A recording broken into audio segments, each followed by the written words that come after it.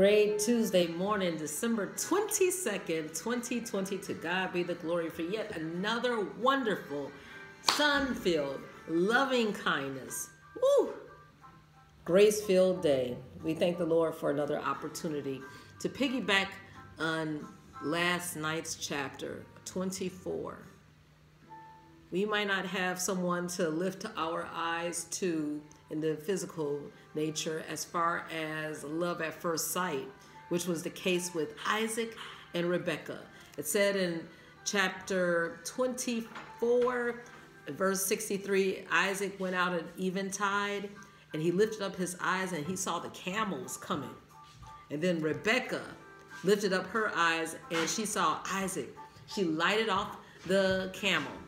And woo, when they saw each other, that was it. They lifted up their eyes to one another. But guess what? We can lift up our eyes unto the Lord, right? With his grace and his mercy. And we can lift his name on high. So we might not have someone to look up to, like my son, who's 6'3, 6'4, 6'5, 6'2, whatever. But know that we look to the Lord our eyes are lifted up to him, which cometh our help. Our help cometh from the Lord. What did you get out of Genesis 25? Because it goes on to the death of Abraham. I believe he died at the age of 175, and Ishmael, his son, died at the age of 137. And then Isaac and Rebekah had twins. We know the story Jacob, Esau. Come on in here. And I'm glad he's here because there's nothing like starting off the day with a word. It's cool to reflect on the faithfulness of the Lord at night, but ooh, when you could get in the word, Psalms 5 3 says, My voice shalt thou hear in the morning. And the Lord wants to hear from us, and then He will tell us things also. What did you get, son? Um, shouldn't have more than one wife. Which one are you talking about? Abraham? Yes. well, now wait a minute. He was a widower, right? Keturah. No, I'm saying at the same time. Oh, at the same time, yeah, right. Because you'll see later on that they had. Why do you say that? just um, it's disrespectful and it causes too much confusion. I know it was acceptable back then, but I'm saying right now, like you shouldn't have a girlfriend and a wife, a girlfriend on the side. Come wife. on now. Let's saying, come on now, like that. Everybody should know that, you know, like that. Everybody knows that. You know what? You would remember when I was uh, listening to a video, and that was was someone was alluding to. Um, he's a former pastor now, and he was trying to to give that type of illusion or he was trying to say like i got so much dirt on so many ministers and pastors as far as them having their first ladies, but then they have their first girlfriends, their first side pieces. It's a mess.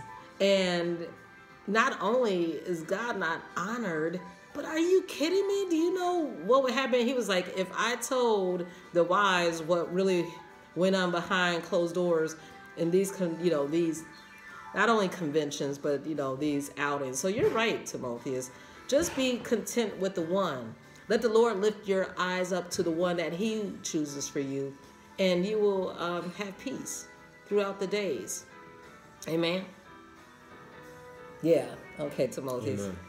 and and also I invited him because because of today's date we go to either Psalms 22 or 52 or 82 or 112 or 142. I remember Psalms 112 spoke to me as far as let your heart be fixed.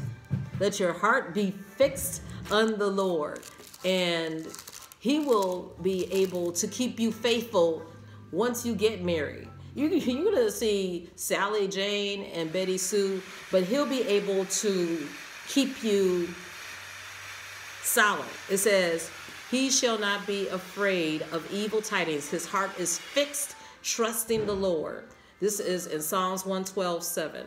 And right before that, it says, Wealth and riches be in his house, and his righteousness endure forever. This is for the person who fears the Lord, who blesses him and keeps his commandment. And it says, Your children shall be mighty upon the earth, generation of the upright shall be blessed. Like I said, you will have the the provisions of the Lord. Your light will be there in the darkness. You will have a blessed life when you keep the commandments of the Lord. Your family, your children, your wife, your one wife. You don't have to have all that confusion. Don't be like the world. And you will see that your home will be able to endure. And your heart is established.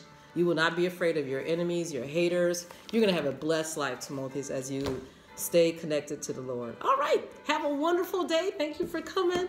And know that the Lord only wants us to look up to Him. He's our source of everything. Enjoy.